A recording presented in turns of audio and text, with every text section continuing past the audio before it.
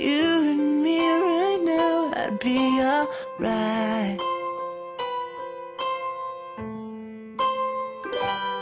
If it's you and me forever, if it's you and me.